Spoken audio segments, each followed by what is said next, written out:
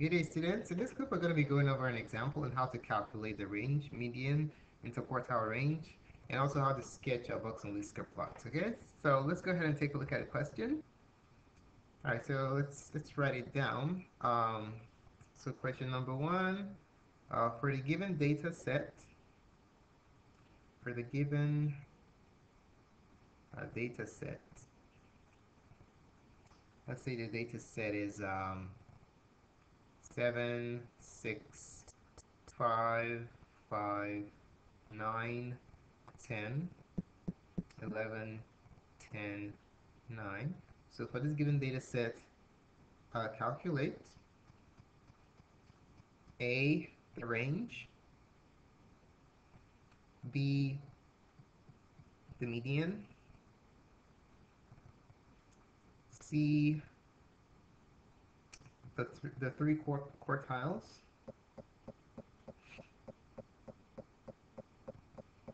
Three quartiles. Uh, D, uh, the interquartile range. Interquartile range. Uh, also referred to as the IQR. And last but not the least, uh, um, make a or sketch a uh, box and whisker plot. Okay. All right. Let's go ahead and um, and do this one by one. Start from number one. Number one is you have to compute the range. So you have to be really careful. The range and the interquartile range are two uh, different things. Okay.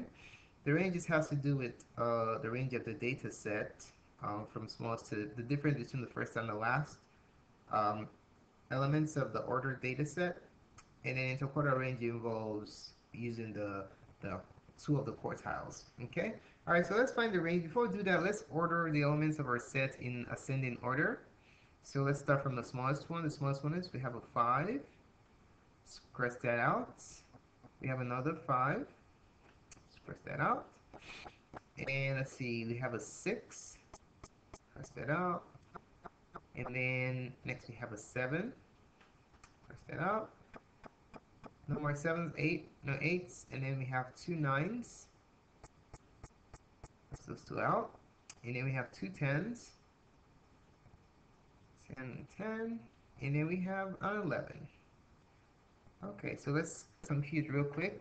How many, let's count how many terms we have just to make sure. 1, 2, 3, 4, 5, 6, 7, 8, 9 nine elements. There's one, two, three, four, five, six, seven, eight, nine. Excellent. So we have all the elements of the set accounted for. All right. So the range is basically the um, smallest, the biggest minus the smallest. So the range in this case is going to be uh, 11 minus 5, which is 6. All right. Okay, let's move on to part B. We're asked to find the median. Now, depends on the number of um, elements in your data set that determines how easy or difficult it is to find the median, okay? If you have an odd number of elements in your set, you always have a middle number. That will be your median. But if you have an even number of elements in your set, you have to average the two numbers in the center. In this case, we have nine elements in our set, so finding the median will be really easy. So um, you can count from outside to inside. So uh, let's count from out to inside. So you can take from the left, count one step in, then from the right, one step in, and then another step, another step. You can do this with your two fingers, um, and you just count in, another step, and then another step. Boom. So we took three steps in, and then we're left with a number in the center. So when you're counting from the outside to the inside, if you have a, a number left in the center, that's the median. Okay? So our median is going to be 9. But if you have two numbers in the center, you average those two, and that will give you the value of your median. All right, so here we have odd numbers, so we have a um, unique median here. No computations are necessary. All right, so there goes our median. Now we're asked to find the three quartiles. What on earth are the three quartiles? The three quartiles are basically your um, lower, lower quartile, your median, and your upper quartile, or also known as the first, second, and third quartiles. Okay, so guess what? We already have one of them. Uh, Q2 is also known as the median and is also known as a second quartile. And we already know what that is. The second quartile is um, 9. Okay? Now this separates the data set into two groups that can help us find um, the lower and the upper quartile. Okay? Now if we go to the left or to the lower region of the median, that the middle number in the lower set is the lower quartile of the first quartile, and in the upper to, or to the right of the median, we can find the um, upper quartile or the third quartile. Okay, so let's uh, take a look at our data set again. Um, now you notice, let me let me rewrite it here so that we can compute our quartiles properly. Five, five, six, seven, nine, nine, ten, 10, 11. Now you notice that this element is in the center.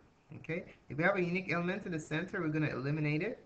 Now you notice that our data set has been split into two uh, regions, into two groups. Okay, now in this new data set to the left, this data set consists of the lower quartile or quartile um, 2. I mean quartile 1. Okay, so we're going to find the center number in the to the left of the lower of to the left of the median okay so you notice that you have four elements which is even so you have an even number of elements in a set then you will have to do some computation to determine what the lower quartile is. So what we're going to do is we're going to take a look at these two numbers in the center. We have two central center numbers and then we're going to average these two to find what uh, the lower quartile is okay? So q1 also known as the lower quartile, is simply the average of these two numbers in the center. So it's going to be 5 plus 6 over 2. The reason we're averaging is because we have an even number of elements in the set or we have two numbers in the center. If we were odd, we have had a unique um, element as the lower quartile. Okay, 5 plus 6 is 11. 11 over 2 is 5.5. Okay, so that's what Q1 is. So Q1 is 5.5, which is also the lower quartile. We have to find three quartiles. We have two. The third one, Q3, is also known as the upper quartile, which is to the left side um, of, I mean to the right side of the median. Okay. All right. So to find the upper quartile or Q3, we're to look um, to the to this to the elements to the right of the median and find the middle number there the median of the upper region okay so the um, we'll take a look at all these elements right here to find the upper quartile now you notice that we also have an odd, even number of elements just like the lower quartile. They always match. If you have even here you have even there too. So we have an even number of elements here. One two three four. So we have to do some work to find the median right? So what we have to do is we're going to take these two numbers and we're going to average them and that will tell us what the upper quartile um, or, or the third quartile is. Alright, so to find Q3 or the upper quartile, we're simply going to add 10 and 10 and divide by 2. Remember, we have to do this work because we have an even number of elements in the set to the right um, of our median. Okay, so 10 plus 10 is 20. 20 over 2 is 10. Alright, so there goes our quartiles. Alright, so let's organize it. Q1 is 5.5. Q2 is uh, the median, which is 9. And then the third quartile, Q3, is 10. So these are the quartiles of our uh, data sets. Now, option D asks us to find the interquartile range. Uh, the interquartile range, element D, IQR can be simply computed using the formula Q 1, I mean Q3 minus Q1. Okay? Because the range of the quartiles, you know, if, if you look at the two quartiles, the quartile 1 and quartile 3, what is the range in between them? That's what your interquartile range is, okay? So we already know that quartile 3 is 10 minus quartile 1, which is 5.5. That's how you compute your interquartile range. And then if you compute this uh, difference, you're going to have 4.5. All right? So remember, interquartile range is also the same thing as the upper quartile minus the lower quartile. You don't need the the median or the second quartile doesn't um, play any role in the computation or determination of of the interquartile range after you've determined the third and the first quartile. You just plug it into this formula, okay? And then you have 4.5. All right, option E. Now we're going to uh, make uh, a box and whisker plot of this data set, making use of the um, the elements of the set. So we're going to draw a number line. We're going to go from 1 all the way to 10. Um, and then we're going to uh, go ahead and graph it, graph the box and whisker plot, okay? So let's do this. All right, so let's go ahead and calibrate our number line.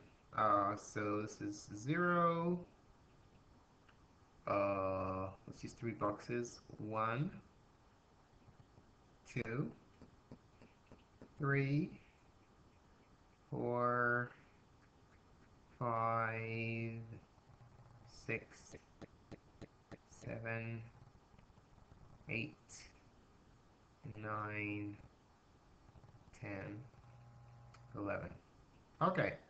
All right. So in our data set, uh, the extremes, the max and the min, are 5 and 11.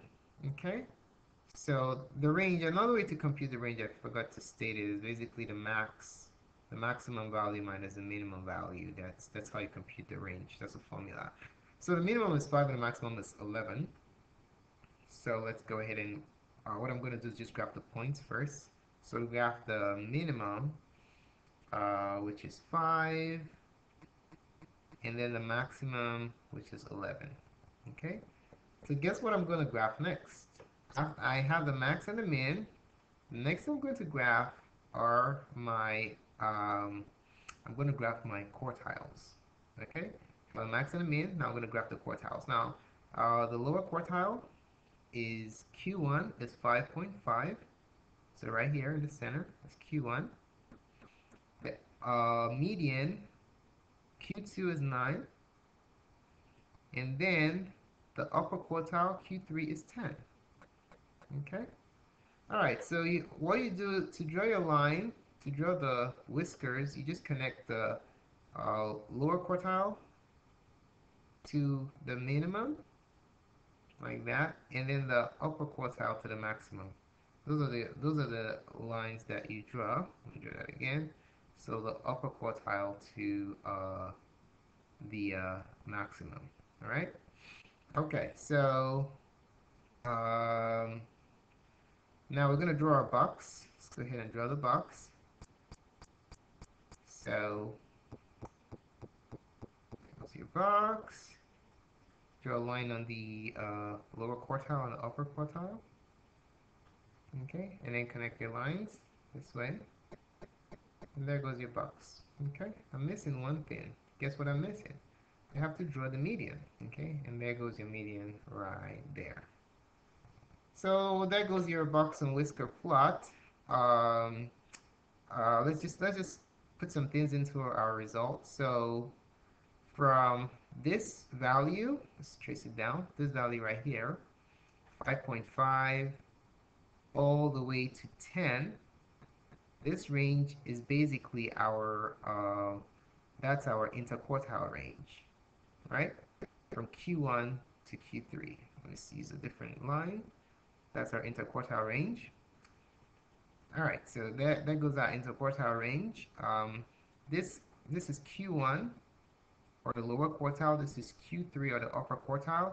And this right here is the interquartile range, IQR, which is Q3 minus Q1, okay, known as the interquartile range.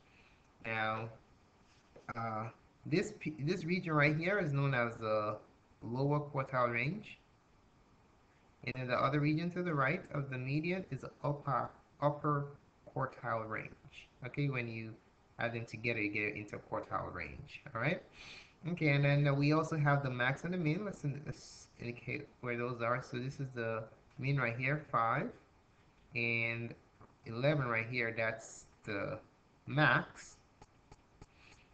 So there basically goes your uh, range. Okay, so this right here is a range. And then the range is basically your uh, max minus your min. Okay? And then uh, this central point right here, that's simply your uh, Q, Q, um, Q2 or your median. Okay? That's value right here, so Q2 or median. This helps you orient the other pieces of information, so let's put that in. So there goes your Q2. Alright? So there you have it. Uh, thank you so much for taking the time to watch this presentation. Uh, feel free to subscribe to my channel by clicking um, up here to subscribe. And please post a comment to let me know what you think about this presentation. More clips can be found on mathgotserved.com. Thanks again and have a wonderful day.